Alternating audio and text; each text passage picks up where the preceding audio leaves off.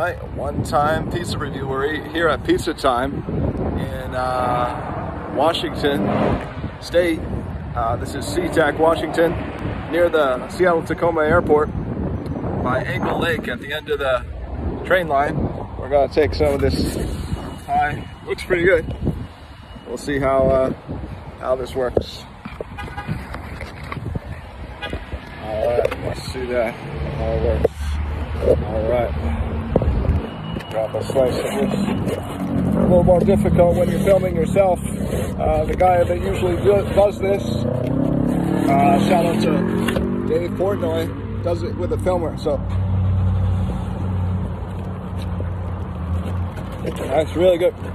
Piping hot, and uh, like the tangy tomato sauce on it, and it's floppy, and I would call it floppy and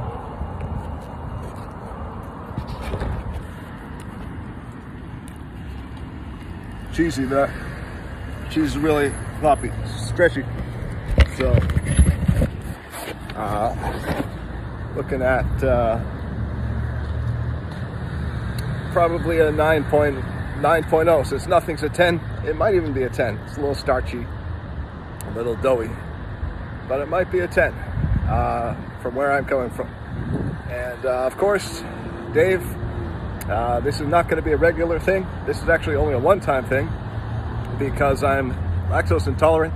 I'm 99% vegan otherwise than this, and I would get crucified for um, appearing on uh, the internet eating something with dairy in it, which I don't normally do. So this is a one-time thing, and shout out to the guy who normally does this, Dave Portnoy.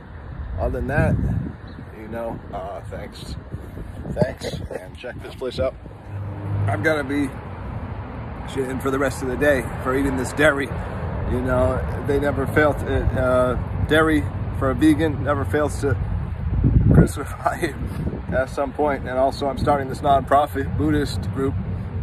So it doesn't look good in the in the gen, in general for me to do this, which is why I'm gonna be shitting and possibly puking all day as a result.